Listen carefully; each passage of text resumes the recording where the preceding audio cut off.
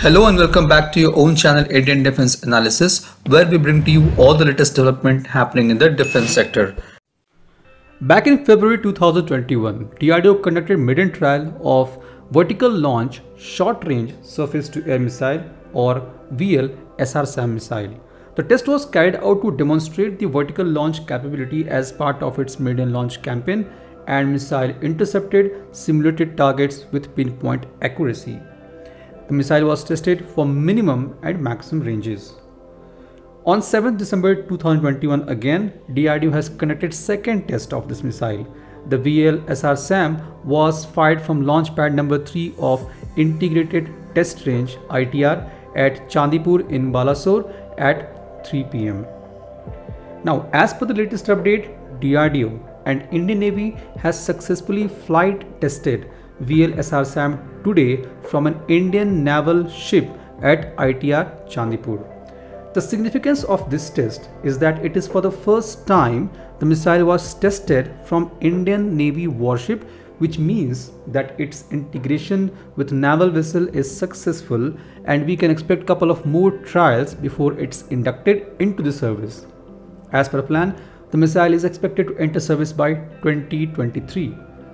This VLSR SAM will be integrated with smaller surface vessels of Indian Navy and will replace Barak 1 legacy SAM system. It will also be integrated with multiple Indian naval platforms like Project 28 class corvettes, next generation missile vessel and next generation corvettes. The missile is meant for neutralizing various aerial threats at close ranges including sea skimming targets. It can identify, track, engage and destroy target with very high kill probability. It has a strike range of about 40 kilometers.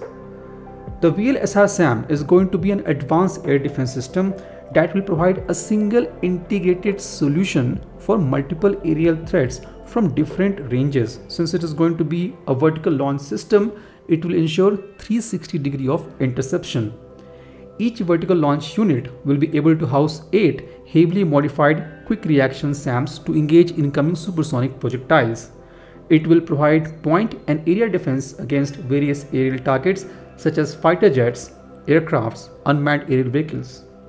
It is integrated with an active high-end radio frequency seeker which provides better interception of targets with low radar cross sections and high maneuverability. It is going to have a conformal S-band with two-way full duplex data link antenna. The data link is used to simultaneously receive mid-course updates on target's position and send missile telemetry data to the ship.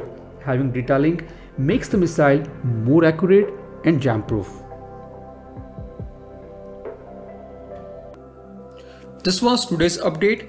Please let us know what is your views about these in comment section. Feel free to post your comments and suggestions about any topic related to defense sector on which you want to hear from us. With this, I would like to say goodbye and Jai Hind friends. Please like and subscribe our video if you have not done already. We'll be soon back with more interesting and amazing development happening in defense sector.